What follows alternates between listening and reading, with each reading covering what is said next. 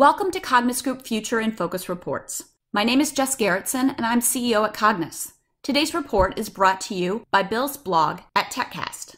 Please follow Bill at billhalal.com. Today's report is on the survey results around the coming internet. Say yes to security, decentralization, and immersion. Here's a quick summary of what we've learned. Security may arrive around 2027. We found a sharp division of opinion, with roughly half of all experts thinking there is little or no chance that the internet would become secure. And the other half thinks there's about a 60% probability that blockchain and quantum cryptography will solve the problem at about 2027. After noting the success of Gilder's previous forecasts, we tend to accept those who agree with Gilder. Decentralization is likely between 2028 and 2030. The critical technologies are thought to focus on blockchain, but quantum, AI, biometrics, and the Internet of Things also offer localizing capabilities. Immersion is highly likely about 2031 to 2032. There's a variety of technologies to make this possible blockchain, VR, AR gaming, AI, Internet of Things, and useful brain computer interface. Despite pockets of doubt and uncertainty, we think this study tells a compelling story about the evolution of the Internet. The continued advance of computer power, possibly using quantum, nanotech, and photonic technologies, is likely to make complex blockchain platforms feasible over the next coming decades. Along with applications of quantum, crypto, and AI, a new generation of web systems is likely to greatly improve security and move control from tech companies to individuals. Some confusion and security failures will remain, of course, but glitches will be acceptable by a younger cohort of users. The development of richer internet experiences using VR, AR, and XR, biometrics, AI, and the Internet of Things, and holograms is very likely to bloom into the metaverse long anticipated. Obviously, there are many trends that will also play important roles in the new internet, as noted in our experts' comments. This strategic implication should be formidable.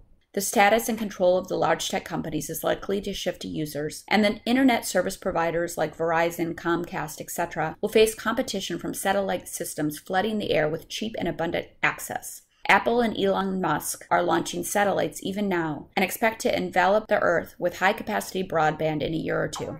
In addition to fierce competition from these new sources, the entire supply chain of ICT equipment and services will be disrupted by an advanced generation of suppliers users should gain more sophisticated and immersive capabilities that are needed for the high tech society ahead. Here is some more detailed information on the three trends. Security. A bimodal distribution shows sharply divided expectations. The most striking feature of our data shows dramatically different views on the prospects for improving security. One group of eight responses averages less than 20% probability that this will happen. Another group of nine responses averages that more than an 80% probability. A similar bimodal distribution shows 10 people with an average most likely year of about 2027, while another group of 8 averages much later than 2040. The good news is that both groups seem to agree that blockchain and quantum cryptography are the likely technologies to make this happen with the help of AI. With such a starkly divided opinion, additional insight seems needed to reconcile this impasse. Both cannot be correct. Yes, George Gilder's claim is hard to accept, but he has been proven correct on similar forecasts. That is why The Economist called him America's foremost technology prophet. Here's George's forecast on the smartphone almost 20 years ago before Steve Jobs made it a reality in 2010.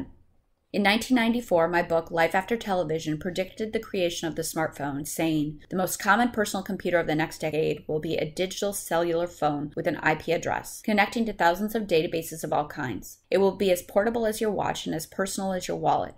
It will recognize speech and navigate streets. It will collect your mail, your news, and your paycheck. Now, here's how Gilder sums up his forecast in Life After Google. Some thousands of companies you've never heard of are investing billions in that effort to fix the lack of security on the internet. Collectively, they will give birth to a new network whose most powerful architecture imperative will be the security of transactions. So fundamental will security be in this new system that its very name will be derived from it. It will be the cryptocosm. Marc Andreessen, the billionaire who invented the first web browser, endorsed Gilder when he wrote in the Washington Post This is the big breakthrough. This is the thing we've been waiting for.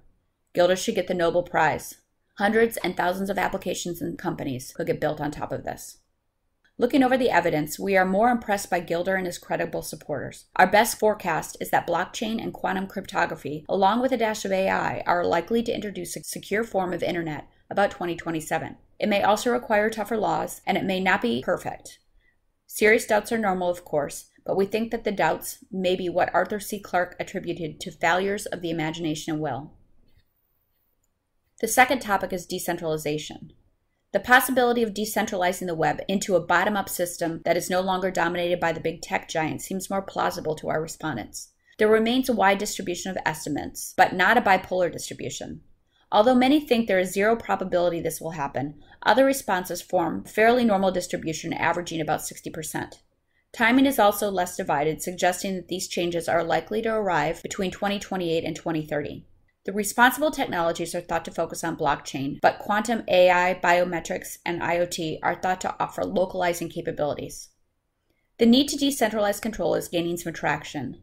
DFINITY is building what it calls the Internet Computer, a decentralized technology spread across a network of independent data centers that allows software to run anywhere on the internet rather than in server farmers that are increasingly controlled by large firms. It's planning a public release later this year. However, a free for all internet could make it difficult to hold app makers accountable. It could also require a decentralized form of governance, which could lead to infighting. It is not clear that mob rule would be better than recalcitrant CEOs. And it's not the first time we're trying to remake the internet. Can it succeed where others have failed? The final topic is immersion. Unlike security and decentralization, our experts tend to agree on the feasibility of sensory immersion in the internet. The charts show a distribution centered around 70% probability and a most likely year of 2031 to 2032 when immersion arrives. They also suggest a variety of technologies will make that possible blockchain, VR and AR, gaming, AI, IoT, and the useful brain computer interface. Gilder would be proud of these results. Thank you for listening today. For more information on this report or other custom research, please contact us at info at cognisgroup.com or more directly in the U.S. at 1 303 709 3157 and outside the states at 44 1904 435 190. Thank you again.